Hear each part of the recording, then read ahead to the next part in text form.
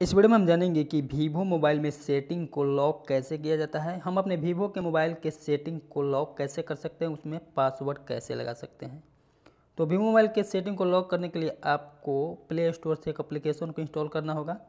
आपको play store में आना है और यहाँ पर आपको सर्च कर लेना है app lock app lock search करने के बाद आपको इस वाले एप्लीकेशन को अपने मोबाइल में इंस्टॉल कर लेना है और इंस्टॉल करने के बाद आपको ओपन करना है। ओपन करने के बाद यहाँ पर आपको अपना एक पासवर्ड बना लेना है। आप जो भी बनाना चाहते हैं बना लीजिए। आपको दो बार एंटर करना है। और दो बार एंटर करने के बाद यहाँ पर आपको एग्री एंड स्टार्ट पर क्लिक करना है।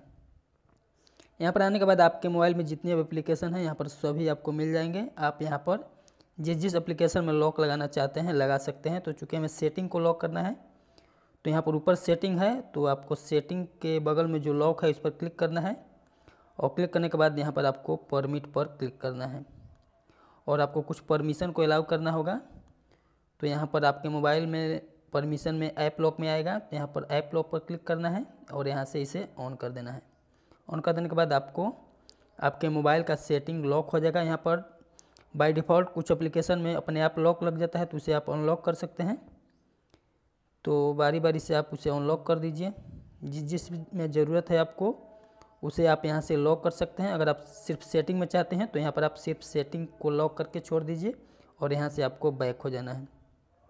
बैक होने के बाद हम अपने सेटिंग को ओपन करते हैं। तो आप देख सकते हैं मेरा सेटिंग में यहाँ पर पासवर्ड मांग रहा है। तो इस तरह से आप अपने वीवो के मोबाइल में सेटिंग में पासवर्ड लगा सकते हैं, उसे लॉक कर सकते हैं। तो वीडियो अच्छा लगा हो तो वीडियो को लाइक कीजिएगा और आप हमारे चैनल को सब्सक्राइब कर लीजिएगा।